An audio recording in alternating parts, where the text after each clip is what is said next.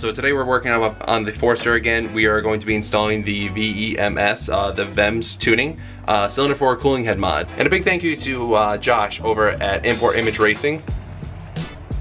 There's a spoolie boy. Uh, for getting this out to me, uh, two day shipping, so I had it in no time at all. Here we have the VEMS tuning kit, uh, cylinder 4 cooling head mod. Hashtag save the ringlands. Inside the box you have some stickers, which is the most important thing, but you also have the cylinder 4 cooling head mod itself. So what the hell does this do? This basically is adding a passageway for coolant to now flow around cylinder 4, which is back there. The coolant basically just passes around cylinder 4 and then just sits there. So it's basically just a jacuzzi and it just sits there and bakes. This is tying in the cylinder 4 passageway into the return line of the heater core box that is inside the cab of the vehicle, which is going to be this hose right here. All it's doing is a very simple task of adding a passageway. Now, if you look up cylinder 4 cooling head mod, there's a couple variants to it. The biggest pro that I see to this kit that the other ones don't have is the fact that it's a two-piece kind of setup. So this is what's going into the head itself versus the other ones, uh, it's directly like hard fastened to the hose, so you have to twist this whole whole thing is kind of a pain in the ass. Make sure you drain the coolant before you do anything. You can do it the night before or whatever, just so that way you get all the drips out. You can also just pull the lower radiator hose and that's just gonna make a big mess, but it's gonna drain everything out. So once all that's done, we can go pull that plug out. So if you guys notice, I'm missing some stuff, but that stuff does not matter for this install. So from coming from the top side, you're going down here. Now if you see that plug right there, that's what we're going after. That's what we're gonna be removing with a 12 millimeter hex socket.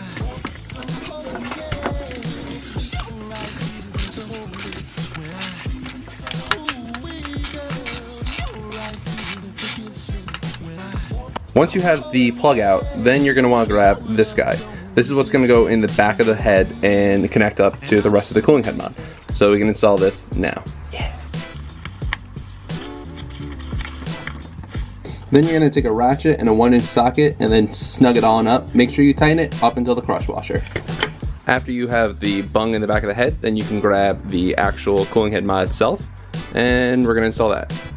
So what I personally did was I fished this down connected it up, and then that way you can see where the T will fall. The one running parallel to the firewall is the one that we're going after. That connects up to this bottom black hose is the hose that we're gonna be cutting.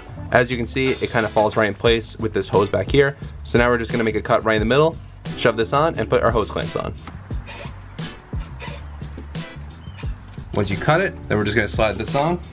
You're gonna take your two hose clamps, slide one on each end of the hose, and then my trick is always a little bit of WD-40 on any time you're trying to put a hose connection on, anything like that. A little WD goes a long way. Then you just slide each end on.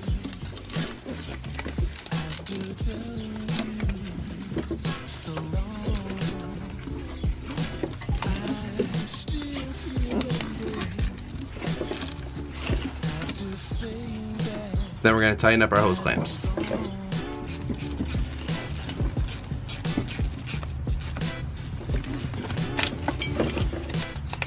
Then simply take an 18 mil wrench and you're gonna snug that fitting up.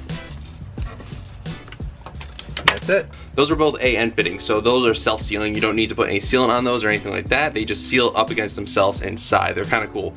Now all you guys have to do is just basically refill your coolant, make sure you have no leaks, and you guys are good to go. All in all, this modification only takes about 15 to 20 minutes if you have the right tools. Uh, 12 mil stubby, uh, 18 mil wrench to tighten everything up, and a razor blade to cut the hose. But again, I want to thank Import Image Racing for getting this out in two days and the quick shipping, the quick uh, process, everything. Josh is an awesome person to deal with. So if you guys are interested in picking up the same VEMS tuning kit, uh, I'll put a link in the description to bring you right to Import Image Racing. Quick, easy mod. Basically, basically this uh, helps prevent knock and ringland failure.